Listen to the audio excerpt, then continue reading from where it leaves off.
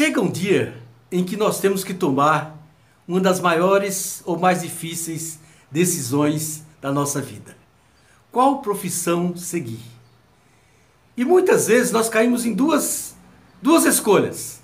Seguir aquela profissão que o mercado nos paga melhor ou seguir a profissão que está alinhada com o nosso propósito de vida, a nossa missão de vida ou aquela que o nosso coração nos pede.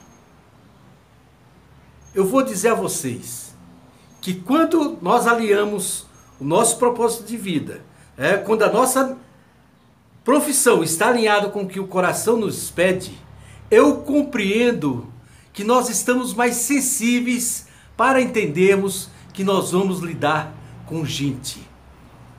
Quer equipes internas, quer os clientes externos que vêm buscar em nós ou em você uma solução para aquilo que ele está precisando. Seja uma dor, seja uma orientação judicial, seja um remédio, seja uma praga, exterminar uma praga. Mas nós estamos lidando não é com a praga, não é com a orientação judicial, é com pessoas.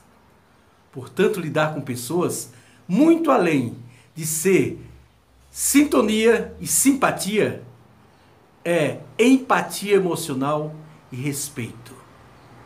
Um psiquiatra e psicoterapeuta, Carl Jung, já dizia: não basta dominar os processos, não basta dominar a técnica. É preciso, além de tudo, compreender que quando você toca uma alma, você é apenas outra alma. Compreendeu bem? Existe coisa mais horrível de que quando você sente uma dor, procura um profissional e ele não tem tempo para lhe ouvir, ele é meio que arrogante ignorante e não, lhe, não se sensibiliza com a sua dor, quer imediatamente dar a receita, dar o seu prognóstico. Isso não funciona hoje. Esteja atento.